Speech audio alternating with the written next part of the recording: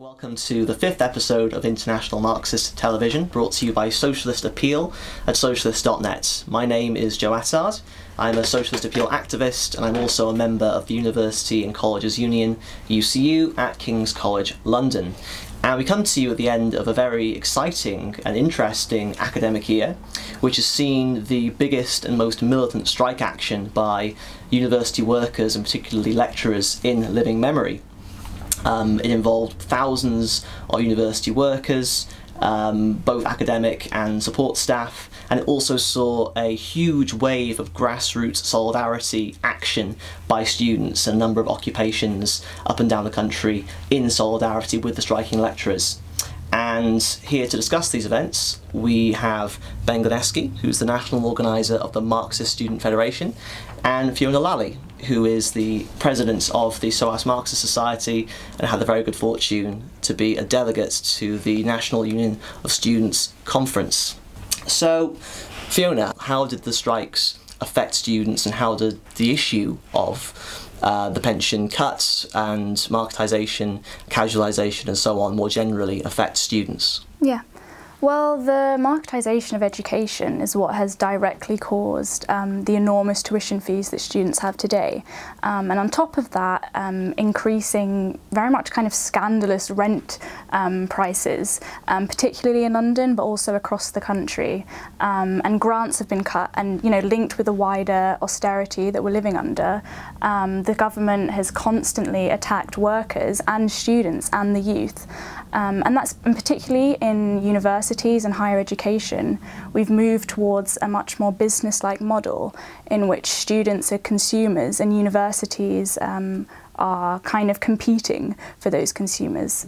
Um, and this uh, model, this business-like model, means that universities are conscious of money and what they need to do in order to make savings, and they think about their budget more than they think about what's necessary for students and what's necessary to create a nurturing uh, learning environment for those students. Um, and so in order to make uh, savings, universities uh, have to exploit their workers, and they have to attack their workers, which um, like you're just talking about, resulted in the pensions scheme that just happened. Um, and students can recognise and they could feel immediately, I think, during that strike that it was, you know, not just about the lecturers, but it's about the students as well, and it's about the whole university and who makes it up. It's not just the lecturers, but it's also the students uh, as well as that, and that's why um, we did see students coming out on, on the picket lines with the, their lecturers during that strike. Mm, and that was very much a message conveyed from the grassroots of the UCU at the very least. This isn't just about our pensions, this is about your education, about the sector more generally as well. Uh, ben, the Marxist Student Federation was of course involved in solidarity efforts around the UCU strike.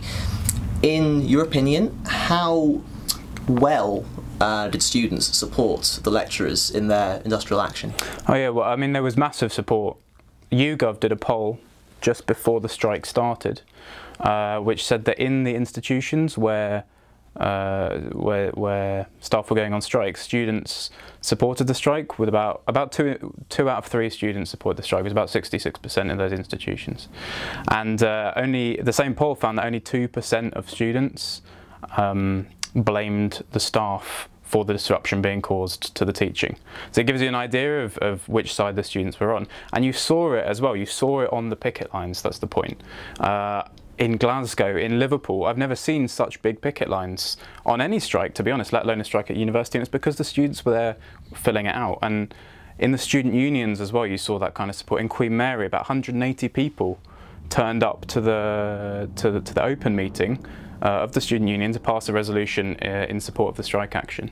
In Canterbury, there were loads of students on the picket line. It took the student union about two weeks before they came out to say anything at all about the strike. Eventually they did come out in support of it, but so lukewarm was their support that when they were addressing a rally of students, the student union president got heckled and booed for not being more supportive of the strike.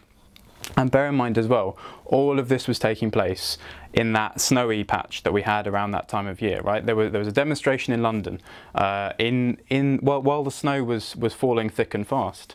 There were, there were people, there were students, hundreds of students on the picket line up and down the country in sub-zero temperatures. It gives you an idea of, of how much support there actually was. And actually I think the support it took everyone by surprise, especially the uh, the UCU leaders. I don't think they were expecting that level of student support. It was really impressive. No, absolutely, and it's interesting that you mentioned the UCU leaders and the relative tepidity of the leaders of the student movements because I felt like in the strike there was a real split in terms of energy and radicalism between the leadership and the membership, between the leaders and the grassroots. Um, in fact, from the perspective of the UCU, our leaders were a brake on our action from the beginning, and they remained a dead weight around our necks for the entire duration of the strike. And in fact, there was a point about three weeks into the strike where it was going from strength to strength, and it was at its most radical, where they almost stitched us up. Um, Sally Hunt, who is the General Secretary of the UCU, went behind the back of the membership, behind the back of delegates um, and attempted to uh, stitch up an absolutely rotten deal with the bosses that probably most gallingly of all, aside from the fact that the terms were um, terrible, would have required us to cover any hours lost to the strike uh, for free in turn three in order to make up for the inconvenience of our strike action. And I got to say, I, have been in academia for not as long as, as some, but I think you'd be hard pressed to think of a time in the history of the higher education sector in Britain where lecturers got together on a grassroots basis overnight, organising on social media. There was a hashtag going around on Twitter, no capitulation, in response to this attempted stitch up, and organised a spontaneous grassroots protest at the UCU head office in London, and at one point nearly stormed the building. So, Fiona, we talked about the limitations of the UCU's leadership um, what did the official leadership of the student movement do, or as the case may be, not do with regards to supporting the UCU strike? Yeah. So um, this year I was a delegate to the NUS conference um, and I was quite excited because the conference um, was taking place uh, during the, the UCU strike and like you said earlier, um, this UCU strike is the most militant um, strike that we've seen in the education field for a very long time. Um, and so I was excited to go to the NUS because the NUS as an institution has 7 million students behind it and therefore I would say has the infrastructure and the capacity um, to mobilise those students and make a real difference and be a real um, uh, force, a real energy um, in the UCU strike. Uh, but unfortunately, uh, the leadership was incredibly weak. The leadership of the NUS is incredibly weak. Um, and not only did they take a very long time when the strike first happened to even come out in support of the strike and give out information, but the NUS conference, which could have been almost a war cry, it could have been a really energetic, uh, start to you know mobilizing all students out on the picket lines and supporting their lecturers um, it was very weak and it was you know over the course of the conference it was very rarely mentioned um, and that's because the, the leadership of the NUS have no real desire to be that force. They have no real desire to link up students with the working class and with their lecturers and with workers in wider society. Um, and if they had done that, then we would have been in a incredible position, um, not just uh, in you know defending uh, education and stopping these attacks on the education sector, but also um, the attacks that austerity is causing throughout the whole of society. You know, if the NUS leadership um, had mobilised the students in the way it could have done, um, we could have seen a huge uh, change in society in terms of linking up students and um, education lecturers and workers with other workers, other trade unions mm. throughout society that are all being attacked. Um, and we could have potentially brought down this government. Uh, but the NUS leadership was incredibly weak um, and didn't really do anything, I would say. And over the course of the conference, um, it wasn't really discussed. It was uh, there were a couple of motions, I think, put forward in order to get the strike discussed, in order to really build genuine solidarity with the strike. Um, but they weren't they weren't discussed over the course of the conference um, due to a combination of things, but in particular an occupation that took place um, that uh, resulted in countless motions uh, being pushed off the agenda, um, and I think that's a real shame because uh, there was real there was a real opportunity there for the NUS, you know, with its role in the student movement, with its authority in the student movement, um, to have really made a, a, big difference. But it didn't do that, and I think we missed a massive opportunity. I remember at the time um, it was said online, "Oh, the, the, NUS has reached peak NUS. They've occupied their own conference." Yeah. Um, do you think that has an effect in terms of putting off the wider layers of students who might otherwise be involved? Definitely, I think so. I think in general, a lot of students don't know the NUS exists mm. because I think if you go on the official NUS website, they even say that their role is to help students with campaigning and get cheap student deals and this kind of stuff. You know, it's very apolitical, it's very neutral, um, which ignores one, what a union is, and two, um, what it could be and who it's representing. And it should be leading the fight against the fight for free education sorry, um, but it's not. And I think that what happened at that conference um, with the occupation and just, you know, there are probably countless other examples of things that happen at NUS, is it was a very inward looking um, event. Mm. And I think a lot of students in wider society um, will feel alienated from the NUS as a result of that and, you know, won't feel like it's a body that is actually fighting in their interests uh, for free education, for example. Um, yeah. Okay, well, it sounds like it was a pretty sorry affair, but were there any significant discussions or decisions made at the NUS conference at all? I mean, as far as the UCU strike is concerned, there were no um, significant decisions made or motions passed, and I think that's just a missed opportunity, mm. really. Quite disappointing. So, Ben, uh, we mentioned briefly that the strike also saw a wave of student occupations in solidarity with the lecturers. Um, what were those like? There were members of the MSF in some of those occupations, of course. Um. Yeah, that's right. That's right.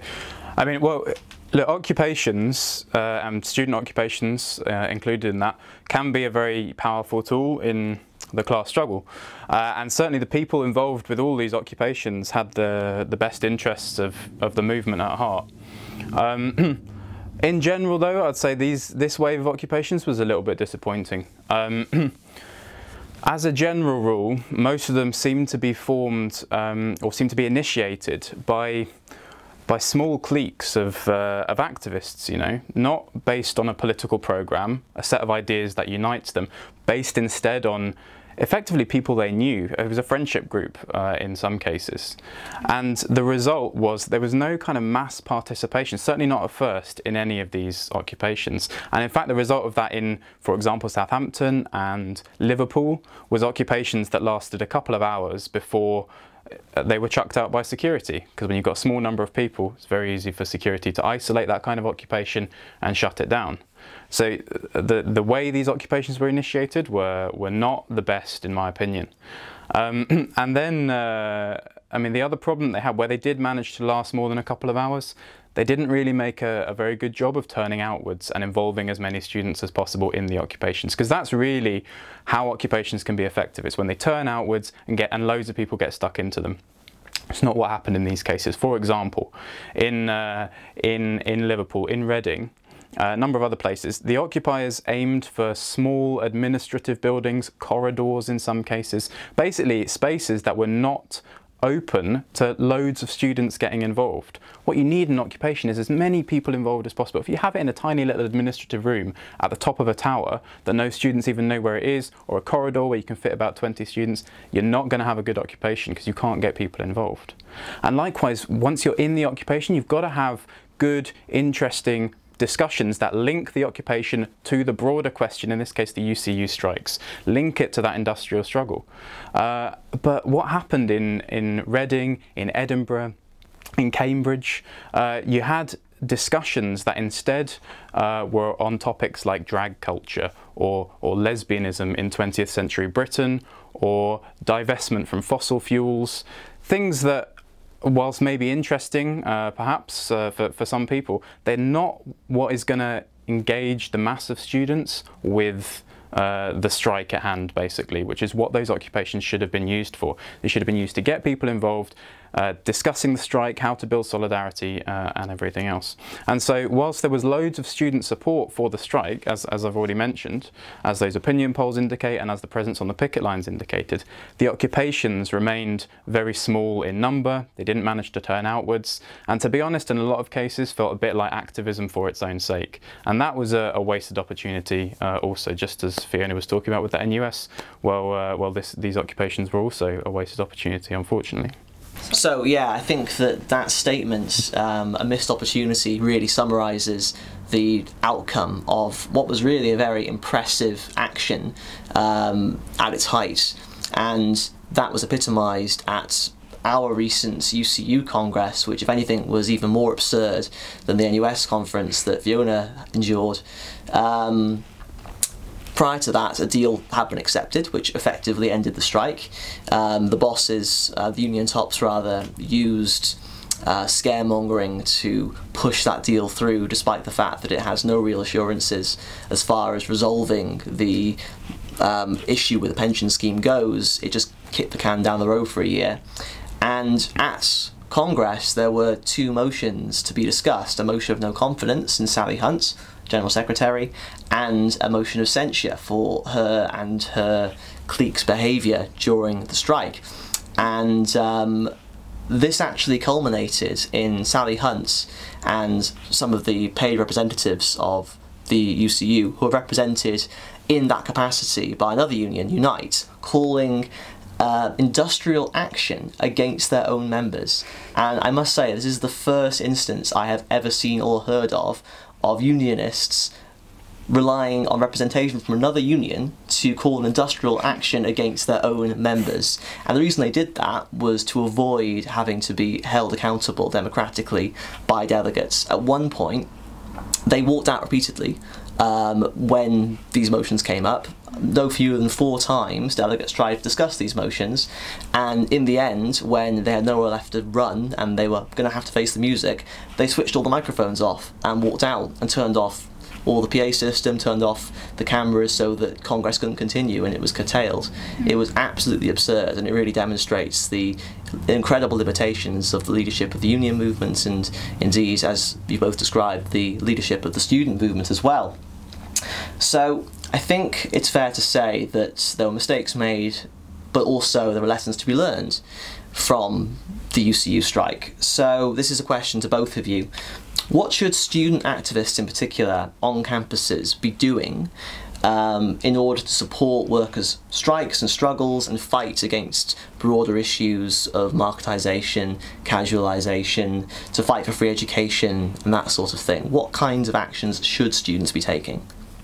Well, I mean, the, the crucial point, it comes back to actually um, one of the first questions you asked uh, that, that Fiona gave the answer to, is this point about linking all the struggles together right? Like the, the, the, problems that we face uh, as, as students and as workers all come from the same sort of source. Uh, this problem of marketisation, of privatisation and so on. You can link these things together. And so it's really important, as Marxist students did, for example, uh, in the UCU dispute, to, to interview the workers and get their opinion and their struggle and their, their thoughts, their, their experience of, of everyday life um, into the minds of the students. So uh, we interviewed people, for example, on the picket line, and we wrote them up. We videoed people uh, all over the place in Warwick, in uh, in, in, Kings, for example. Um, the, we, we, put up loads of interviews um, uh, with the with the striking workers, and uh, and then it's also really important to to get the workers in person, get the striking staff in person to come and talk to the students about what's going on. So Marxist societies all over the country put on meetings, invited representatives of the UCU uh, to discuss the strike and why students should be out on strike uh, as well, and uh, and as much of that sort of thing as possible is really important. On the picket lines themselves and at the rallies, Marxist students were standing up and giving speeches explaining why the struggle of the workers and the struggle of the students is the same thing. It's that kind of uh, argument that is, that is required that students need to be making about linking the struggles of, of students and workers. And um, I mean, there's there's practical things that need to be done as well, right? You need to you need to involve as many people as possible, and broaden out the struggle, as involve as many people as possible in things like the UCU dispute. So in Cambridge, for example, the Marxist Society put a motion to the student union saying that the student union should be the ones coordinating an occupation and involving as many students in it as possible, turning it outwards and using it to bolster the struggle of the of the staff. Unfortunately, the the actual the occupation that did take place by, by a, a, relatively small group of people um, cut across that so that the student union didn't manage to get a chance to, to discuss that particular motion. But that kind of idea is what's required. The, um, a motion came from King's College, from the Marxist Society uh, to, the, to the NUS conference saying that the NUS needs to take a similar approach, linking up the struggles, that sort of thing. Marxist students were arguing for example, for, for Unison members and, and, for the Unison leadership to call its members out on strike in solidarity with the UCU struggle. We were making the argument that the Labour leaders, that Corbyn and McDonnell, need to be uh, linking this struggle up with other struggles in the public sector, trying to, trying to move towards, for example, a public sector general strike to bring down the government. That kind of thing, broadening the struggle out. This is the argument that Marxist students were making throughout the dispute, and that in general, linking those struggles together is the crucial point. And above all, it has to have a political foundation, right? It has to be founded on the understanding that all of these struggles come from the same source. This isn't happening. This isn't. This wasn't just a struggle about pensions. This isn't happening just because the Tories or the university bosses are particularly nasty people. There's a fundamental problem in society that means this kind of stuff is inevitable. As long as we have a system based on profit, as long as we have a capitalist system, we are going to come up against these problems. That's what unites all the struggles together. Having that political foundation, understanding understanding that is, uh, is, is, is probably the most crucial thing that, that students can do uh, at the moment. That's the purpose of, of the Marxist Student Federation. That's why we exist, to have those kind of discussions, to have that understanding and use that understanding to, to guide our practice. I think ultimately it boils down to a question of leadership, as is so often the case when it comes to uh, struggle. So Fiona, um, do you have any final thoughts? Yeah, I think I would just uh, I would encourage students um, to link their activism with theory, like Ben said, so that it has that political foundation. Um, because the Marxist Student Federation this year, we you know we had a conference celebrating 50 years since 1968, which was an incredibly revolutionary year that saw huge movements across the world, um, in Pakistan, in Mexico, in Czechoslovakia, in the USA, um, and in Paris. Um, I think that there's, in general, a fear, or I think some people feel like students are limited in their power, um, as we're not exactly workers in, in a traditional sense.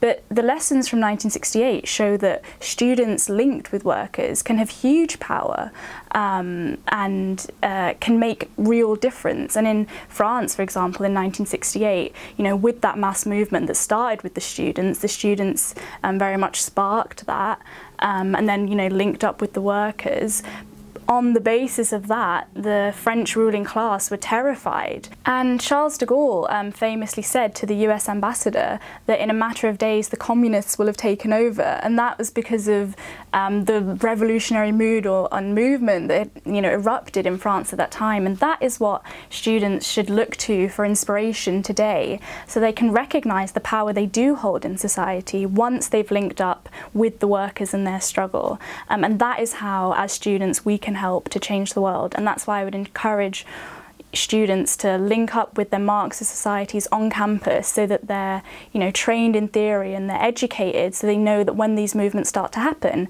they're ready and we can really make a big difference. Okay, well I think that's a really inspiring note to end on. Join us next time. We'll be talking about women's struggles for abortion rights and against domestic violence and various other issues. In the meantime, you can follow socialist.net for our latest articles. You can follow us on YouTube for videos and on SoundCloud for our podcast. See you next time.